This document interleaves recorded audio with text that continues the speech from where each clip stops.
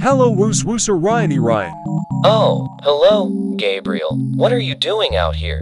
I was thinking if we could go to a cafeteria, like talking about something, and others.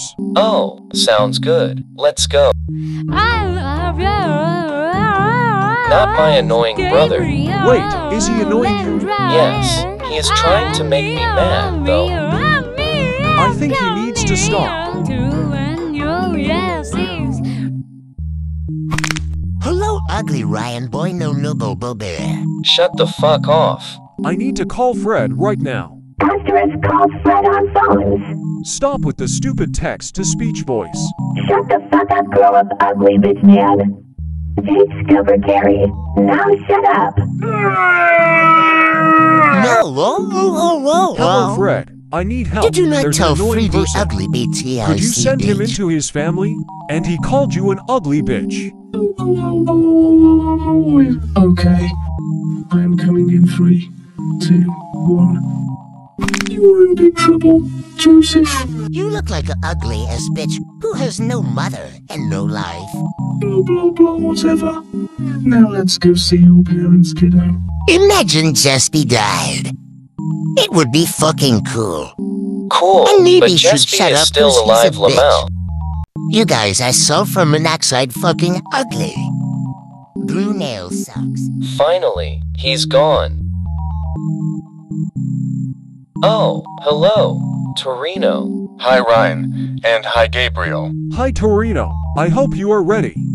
Because we are going into a cafeteria. Yay. By the way, I am the brother of Ryan. Oh, After the consequences of Joseph. Hello, sweetheart. What's going on, Joseph? So basically, though, Joseph has been toxic at Gabriel and Ryan. He was trying to annoying them, so their life just got ruined, and he called me ugly bitch. W-H-A-T. The fuck?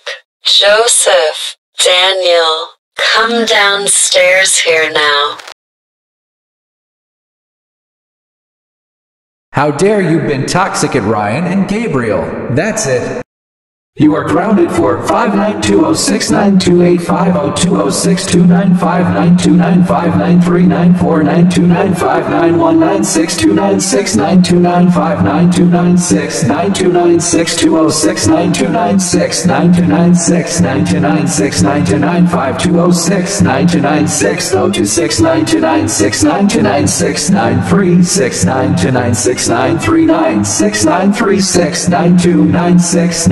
529692969396939693959296929693959299629962996299529 years. Go to your room now. W-S-J I-Z-G-K-Z-R-I-E-K-Z-R-I-E.